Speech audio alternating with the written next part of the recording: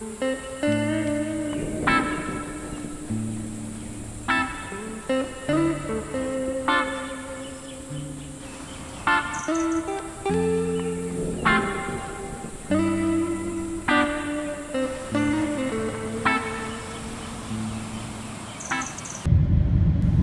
was time for another adventure. After over 13 hours of flying, we touched down in the Seychelles, group of over 100 islands isolated in the middle of the Indian Ocean. Out of my plane window, I saw looming mountains, covered in thick foliage. It was at that moment that I knew I was in for an exciting experience. I simply couldn't wait for what the Seychelles had in store for us.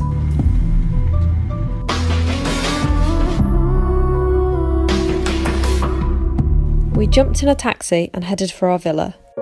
This was our home for the next two weeks, a one bedroom cabin situated at the edge of a dense forest.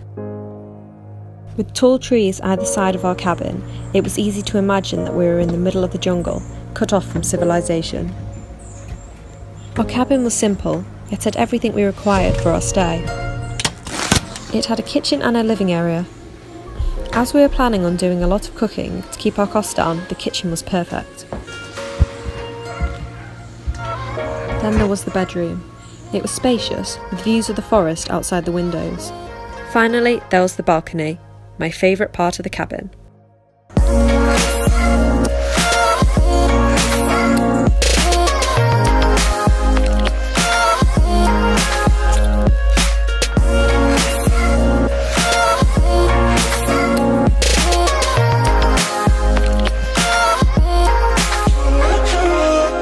After a good night's sleep, we were keen to explore the island. Perfect timing, as our rental car had just been dropped off. We drove aimlessly, with no destination in mind. We were excited to see where the empty roads would take us. After driving down narrow coastal roads with no barriers, we stopped off at a remote beach. The beach appeared to be guarded by a small dog. Welcome to my beach,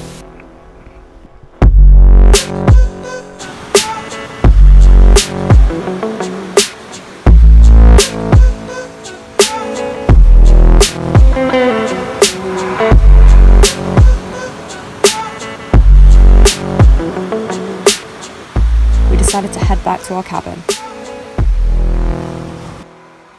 The next day, we decided to visit the capital city, called Victoria. It was a scenic drive along a road that wound round a mountain. By the time we actually reached Victoria, I wasn't feeling so well, so we called our day trip short.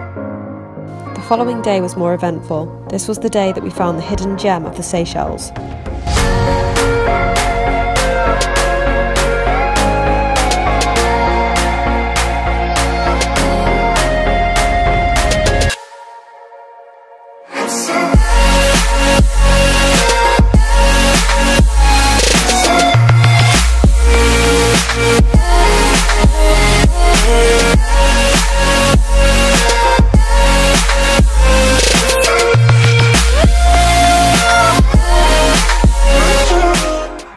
Anse Royale is a beach found on the east coast of the island. I can honestly say that I have never been to such a picturesque beach before.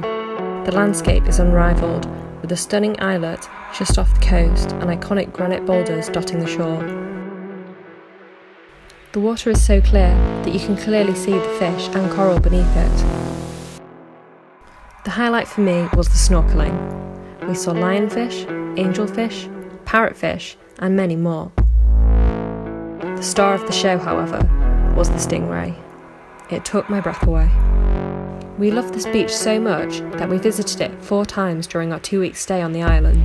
If you're visiting Mahe, I highly recommend stopping off at Anse Royale. In our last week, we decided to explore the north of the island. Whilst it yielded some stunning views, the overall feel was quite eerie, with locals approaching our car whenever we stopped and several abandoned buildings.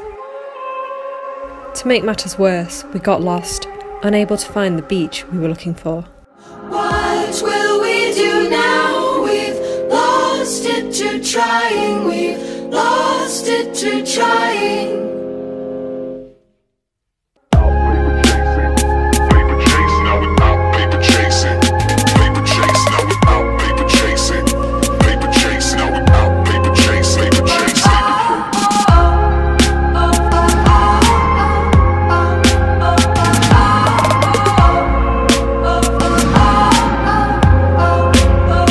You've just seen, it wasn't all bad. The Morne Seychelles National Park was breathtakingly beautiful. In our final days on the island, we went kayaking at the Four Seasons Resort and visited more beaches.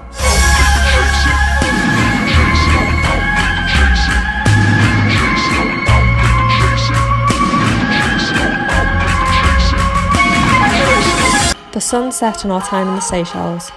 I was sad to leave, but at the same time, can't wait for what my next adventure will be.